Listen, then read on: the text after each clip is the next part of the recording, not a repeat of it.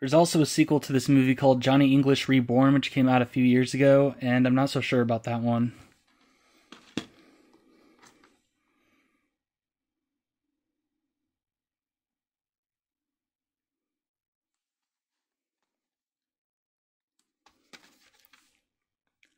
I have Ocean's 11 and Ocean's 12 on DVD as well.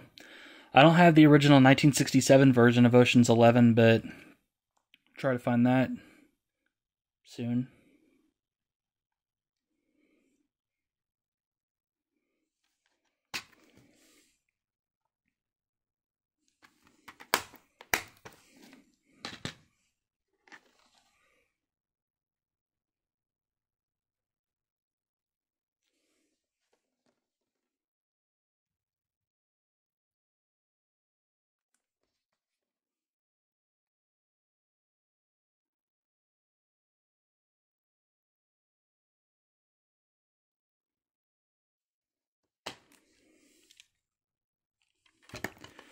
Although this says on the case that it's the widescreen edition, this DVD is actually the full screen version.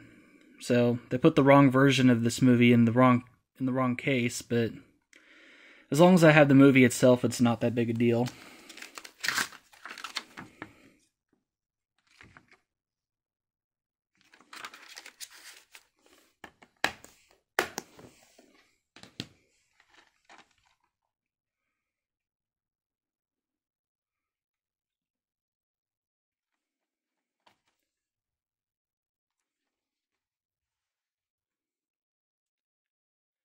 This four film DVD set and uh, Hero at Large I got off Amazon. The other ones I got at Vintage Stock.